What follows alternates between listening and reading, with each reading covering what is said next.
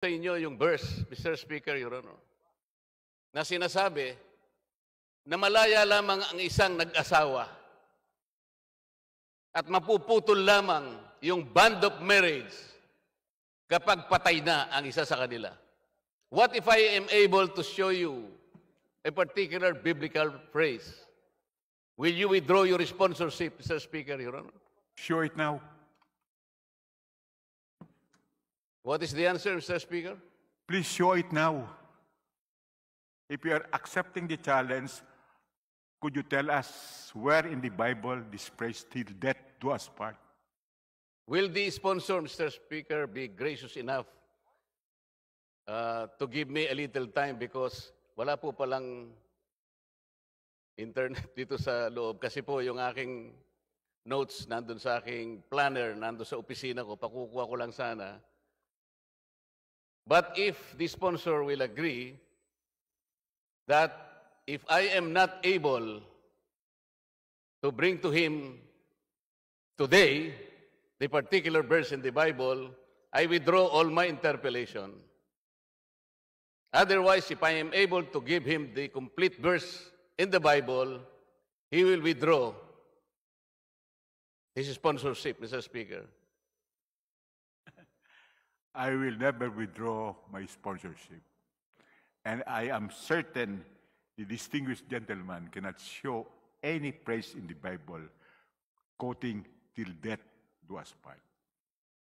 On the strength If- of my but oath, If, uh, but if the gentleman cannot show this, then most probably he should vote for the bill.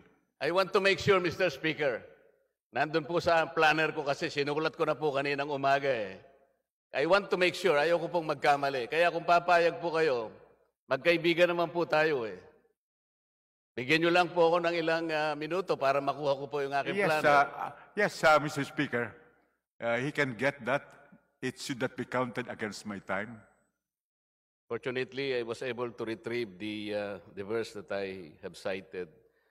Mr. Speaker, I'm citing 1 Corinthians chapter 7, verse 39, which reads, and I quote, A woman is obligated to stay in her marriage as long as her husband is alive.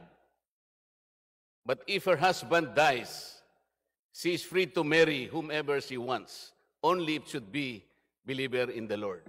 So till death do us part talaga. Kailangang mamatay po yung isa para lang makapag-asawa ka pa ng iba. Salamat po, Mr. Speaker. And I think my good friend is honorable enough to accept the challenge. I accepted the challenge, and I think it is for him to withdraw his sponsorship. Thank you very much, Mr. Speaker. Uh, Mr. Speaker, what the distinguished uh, interpellator quoted is not the phrase till death do us part. In fact, what he said was only with respect to the woman, not to the husband.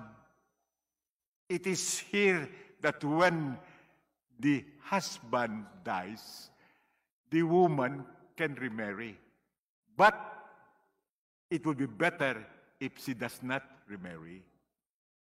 That is completely different from till death do us part, which is addressed to both the husband and the wife.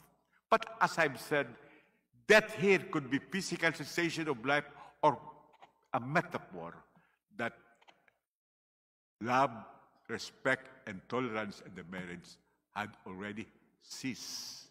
And there is no way of reconciling these spouses.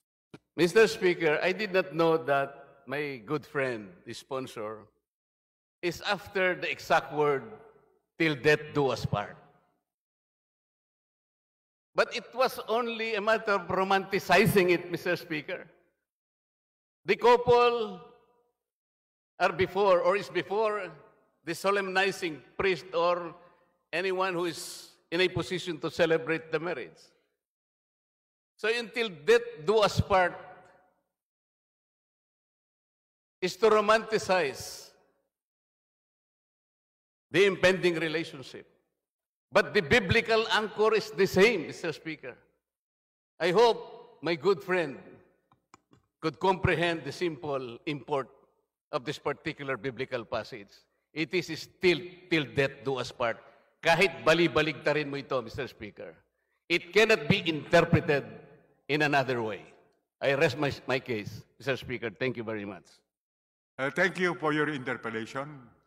And uh, Mr. Speaker, even if we accept the annotation of the distinguished uh, Marcoleta, it will not deny the fact that all Catholic countries who believe in the Bible have their own divorce laws in varying degrees of liberality.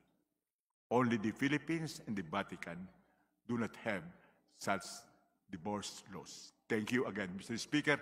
Thank you, distinguished uh, Marcoleta, for your homily.